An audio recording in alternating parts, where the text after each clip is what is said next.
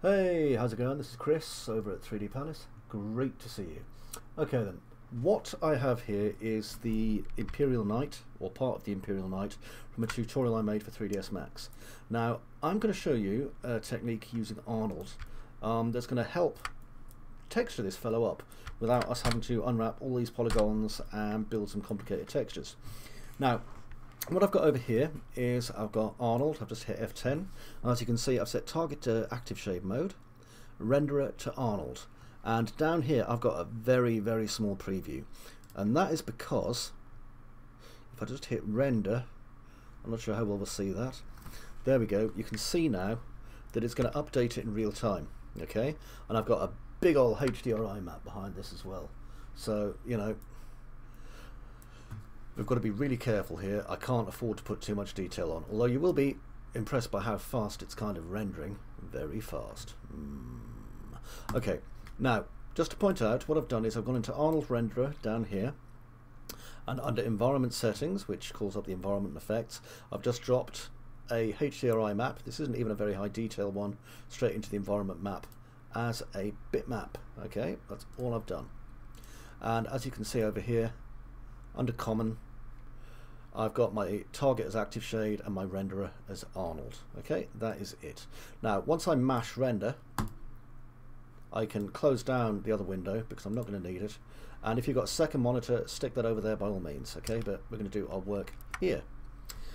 Okay, now I'm going to pull up M for material. And you can see here's that plain blue material I was using. What I'm going to do is I'm going to go over here to my modes and I want to pull out a slate material editor which is this much more complicated and interesting looking one over here. Okay let me just bring this down a bit. There we are. Now what I want to do with this is I want to build myself a material that I can apply to this using Arnold's triplanar mapping okay? So for that what I can do is I can perhaps drag out physical material from over here and you can just see it there and then if I go up here I can search by name. So if you look up triplanar I can drag that out. There we are. And then I can take my tri triplanar and I can apply it straight to my base color map. And then what I can do is I can take this node here and just drag it to here. Okay so you can see now we have this kind of plain clay model thing going on okay?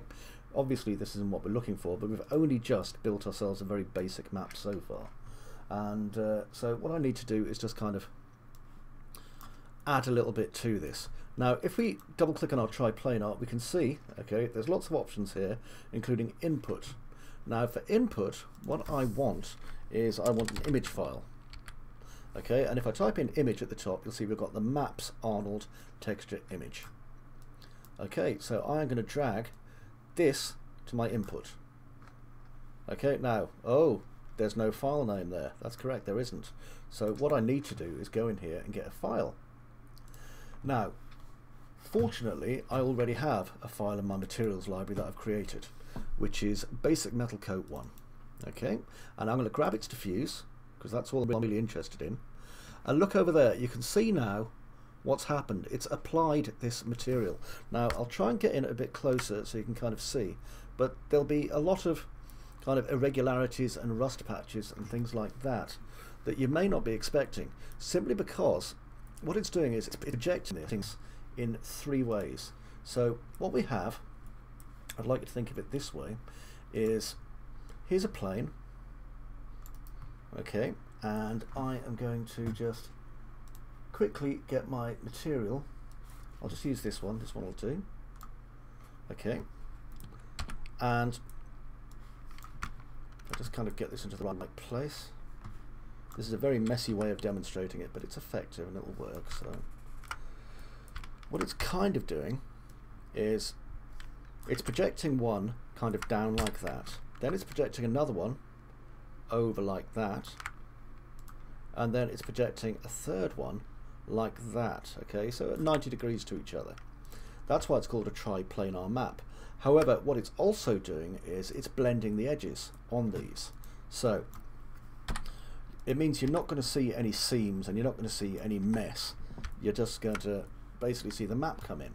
Now, the good thing about that is that if I was to just bring this up, okay, and go into my triplanar over here, you'll see that I can do things like scale, rotate, and offset.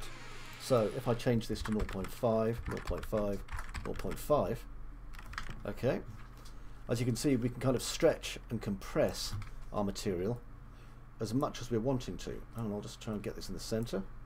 So that's 0.5, 0.5, 0.5. And then if I bring it out, maybe I can change the scale to 555. Okay, and it's going to seamlessly blend as we do this. Right. Um, over here, you can change how much you want it to blend and how much you don't want it to blend. Um, so basically you can make it a lot more kind of blurred at the edges and things like that. But this is really just a very simple kind of walkthrough of how you're going to make that work. Okay? So, if you're interested in finding out a little bit more about um, doing some stuff with uh, Arnold, stay put and try another one of our great tutorials. And until then, remember to drop by www.3dpalace.com, there's a hyphen in there somewhere, or go to our Patreon page at patreon.com slash 3dpalace, or go via Facebook. Till then, TTFN.